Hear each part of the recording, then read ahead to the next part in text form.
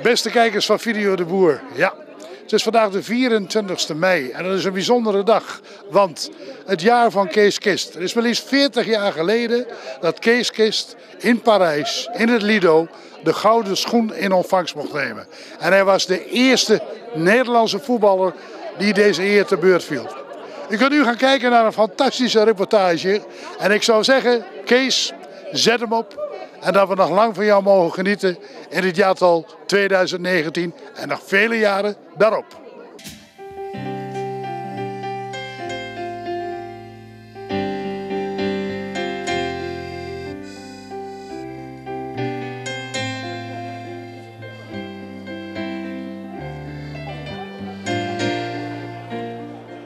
Het is 40 jaar geleden dat Kees in het Lido was in Parijs en daar de gouden schoen kreeg uitgereikt. Nu, hier, 40 jaar later, zijn een aantal vrienden bij me gekomen en die hebben de stichting Vrienden van Kees Kist opgericht. Want die hebben gezegd, er moet iets gaan gebeuren. En dan gaat wat gebeuren. Hij werd geboren in het dal, kreeg eerst de tiet en toen de bal. Hij won altijd, nou ja, meestal. Keesie Kist scoorde vaak op het Gempo-toernooi. Alle doelpunten even mooi. Elke tegenstander was een prooi van Keesie Kist. Op school had hij het gauw gezien. Vaker een vier dan een tikketje. Had er geen tijd voor bovendien. Keesje Kist, Keesje Kist. Met 15 jaar eerste team. Ook daar voetbalde hij subliem. Hij werd geprezen unaniem. Keesje Kist, oh, Keesje Kist. Op het podium hier, de voorzitter van deze club, Don van Veen. Ontvangt u hem met een hartelijk applaus. Kees Kist, geboren op 7 augustus 1952 in Steenwijk-West. In de volksmond werd altijd Dal genoemd, dat is nog steeds zo en vroeger was dat natuurlijk ook zo. Daar trapte hij tegen een bal. En het werd al snel duidelijk dat hij talent had. Hij kon er wel wat van. Eerder werd je door Henk Imker al uitgeroepen tot sportambassadeur van deze stad. We maken vandaag met elkaar een mooie dag van. Of zoals wij dat hier noemen, een mooi feestje van en voor onze Casey. Dames en heren, mag ik een applaus voor de hoofdrolspeler van vandaag? Mag ik een applaus voor Kees Kist?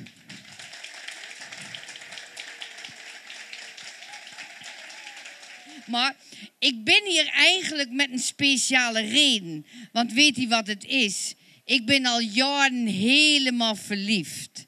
Helemaal verliefd op Kees. Ja, dat kunnen jullie je niet voorstellen. En ik dacht altijd dat hij wel een beetje verliefd op mij was. Want hij zat ook bij mij op de school.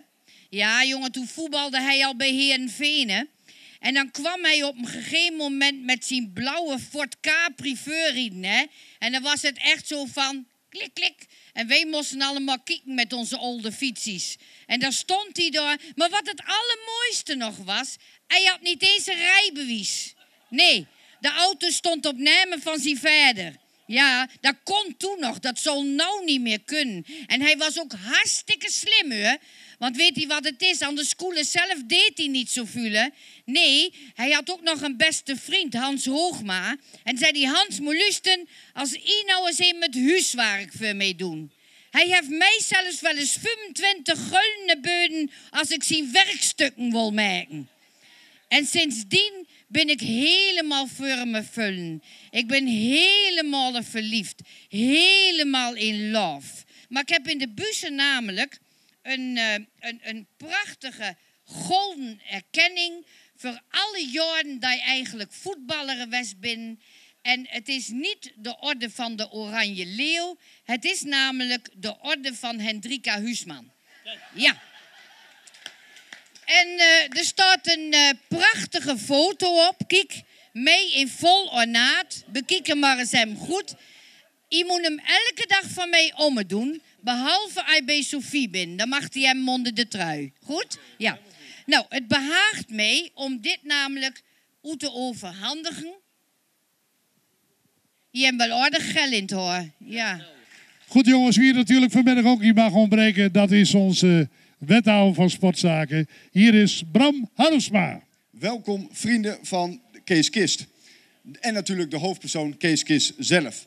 Want het draait vandaag allemaal om hem. Of eigenlijk dit jaar, moet ik zeggen. En bescheidenheid zie je de mens. Die uitspraak kennen we allemaal wel. En het klopt ook. Soms moet je ook bescheiden zijn. Waar andere steden beroemde stadsgenoten uitgebreid in de schijnwerpers zetten, stelt Steenwijk zich bescheiden op. Daar gaan we wat aan doen.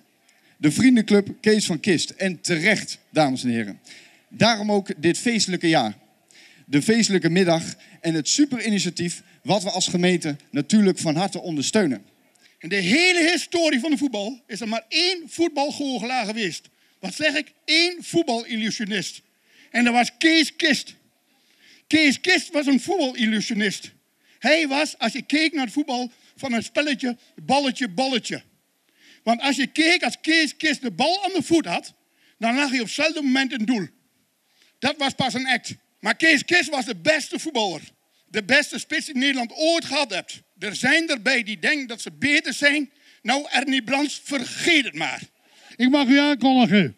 De man van de vestingstad Steenwijk, Evers. Ja. Uh, Kees, vrienden van Kees, alle mensen in Steenwijk, maar vooral alle mensen van buiten Steenwijk, hartelijk welkom in Steenwijk Vestingstad. En u ziet, het is hier altijd goed weer. Dat is natuurlijk fantastisch. U bent fantastisch dat u hier nu bent, maar we gaan er nog een dingetje aan toevoegen. Dat is op 17 juli en daar wil ik u toch even een beetje attent voor maken. En ik wil voor het eerst uit de doeken doen wat wij 17 juli gaan doen. Wij hebben deze, of alle zomers altijd feesten hier. Uh, dat waren vroeger midweekfeesten, dat heet dan tegenwoordig vestingfeesten. Die hebben allemaal een thema. En een van die dagen, de eerste, 17 juli, krijgt dit jaar het thema de Kistdag. En wat gaan wij doen? Edelgras uit Genemuiden gaat hier een kunstgrasveld op deze markt leggen. En daar zijn we ontiegelijk dankbaar voor. En die hele dag staat in het teken van voetbal. Hij trekt zijn jasje er even speciaal voor aan. En ik kan niet anders zeggen. Ontvangt u met een hartelijk applaus. Hier is Henk van Rijnzoever. En er is ooit een club geweest waar wij tegen gespeeld hebben. En Christen, ja, je bent uh, trouwens applaus voor Christen helemaal uit Frankrijk over. Hè? Maar ja, la, laat me wel eerlijk wezen. Als die er niet was geweest, en jullie waren allebei niet gek geweest, want dat zijn jullie. Want uh, wie gaat er nou 20 minuten voordat de training begint naar buiten om ingooien te oefenen? Nou, wij wonen in, wij wonen in Alkmaar, dan vlakbij Heilo. Er is een stichting. Ik heb ze daar met z'n tweeën wel eens naartoe willen brengen. Hoor. Dat doe je toch niet? Maar er zijn wel verschillende veel kools uitgekomen. Net doen of dat je hem aan de binnenkant, buitenkant gooide en dan naar binnen. Had jij uitgedacht, Deen, hè? Ja, vergeet al zijn naam. Maar als hij belt, zeg hey Deen, hoe is het? Hij is er vandaag en dat is heel en heel belangrijk voor ons. Hey, en dan scoren. En dan scoren. Ja, ja, ja, ja, ja, ja. ja. Ik, ja, hoi, nou, ik vind het uh, hartstikke leuk dat jullie uh, allemaal hier vandaag op mijn feestje zijn.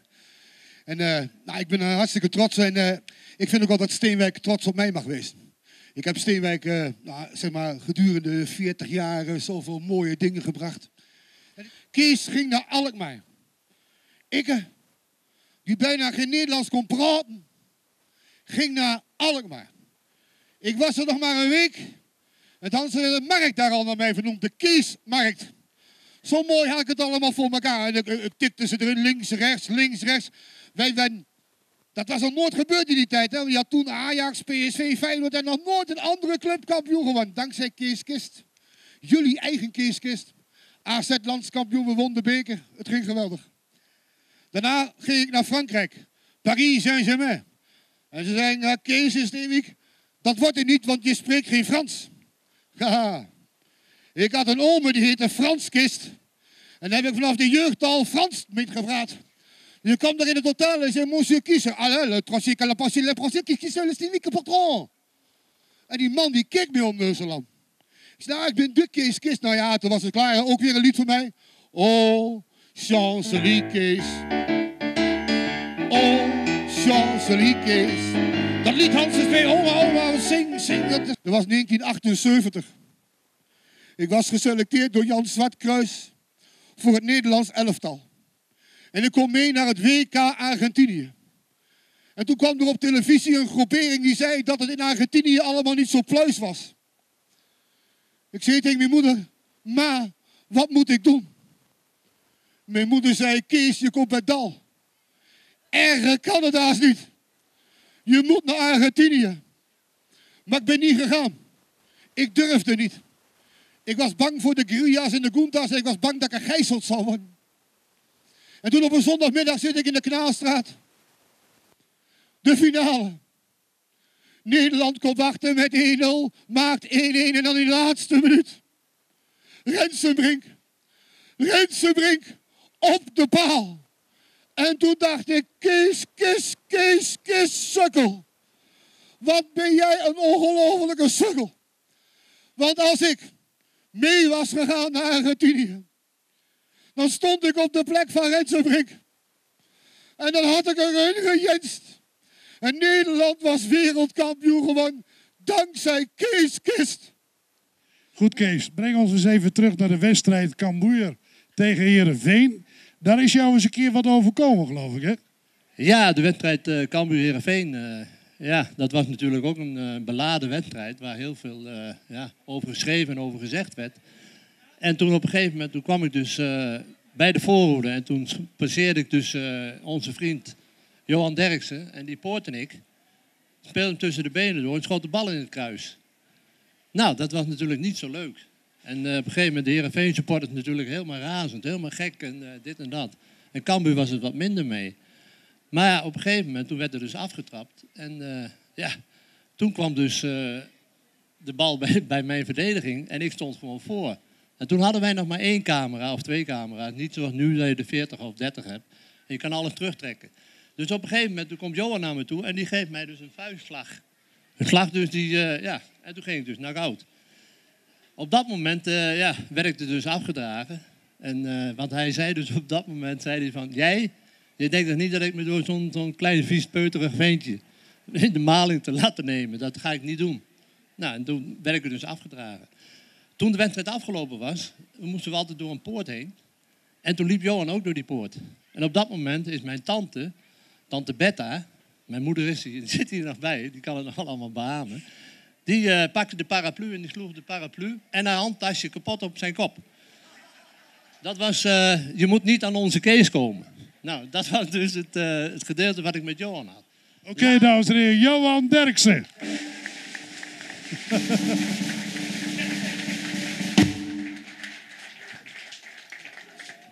Johan, wat heb jij met paraplu's?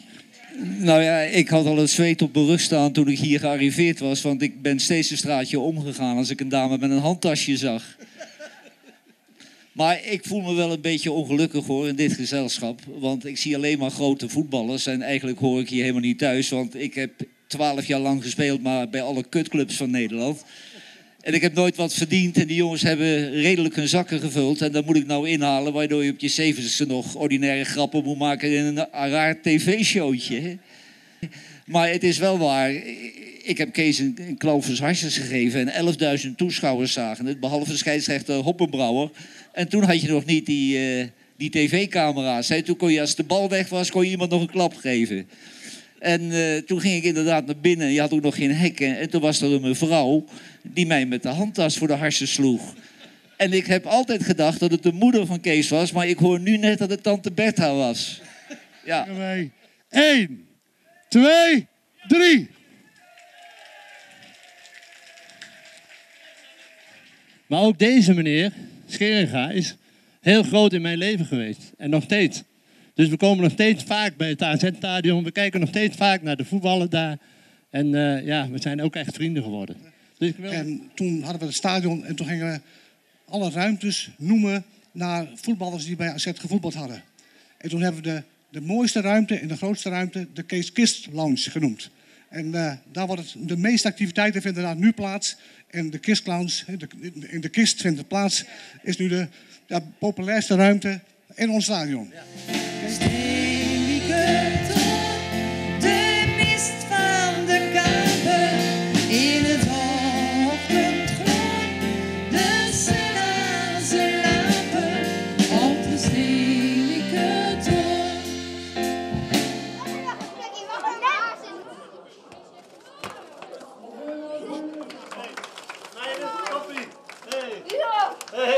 staan hier op het uh, plein van het uh, Stadsmuseum en uh, naast mij Kees Kist en Don van der Veen. Henk Kranenbonk zal zeggen, het was een machtig mooi visie, Don. Ik ben er heel erg tevreden over. Het is ook heel leuk dat alle mensen die zeiden van we komen naar Steenwijk, die zijn ook allemaal gekomen. We hadden er schitterend weer bij, dat kun je natuurlijk niet sturen, maar het is natuurlijk heel erg welkom. Er waren heel veel mensen, ja, schiet eindelijk woorden tekort. Ik, ik kan alleen maar zeggen dat ik ook verschrikkelijk heb genoten vanmiddag. Wat dacht je toen de stichting Vrienden van Kees Gist met het idee kwam, we gaan Kees Gist eren? Ja, dat was een uh, heel leuk idee voor mij. Het kwam ook heel goed bij mij over. Het was eigenlijk bijna hetzelfde als toen uh, Riemer van der Vel, of uh, hoe heet die meneer, ik ben hem even kwijt. Meneer Scheringa dus met die brief op de mat kwam. En zo was dit eigenlijk de vrienden van Kees Gist. Nou, als je dus de vrienden van Kees Gist, ja, wat ga je dan doen? Nou, toen heb ik een, een paar keer heb ik bij de vergaderingen gezeten om te horen hoe dat dan allemaal gaat. Nou, als ik zie wat deze mensen aan werk gehad hebben dit jaar, ja, dat is ongekend. En dan zie je dus vanmiddag een, een ja, een, een, act, alle dingen, de, de muziek, de, de, de, ja. Dan zeg ik gewoon van nou, jongens, top. Echt top, dat meen ik echt. Want ik heb weinig momenten meegemaakt zoals dit. Weinig meegemaakt, uh, ja, je was er gewoon emotioneel van.